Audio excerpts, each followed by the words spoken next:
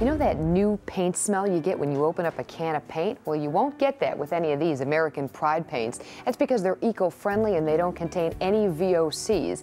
Stands for volatile organic compounds. Includes everything from lead to formaldehyde and other carcinogens. As I said, these don't contain any of that. The best part about it is that these paints are made locally, so you're helping to support the local economy when you do in fact buy them.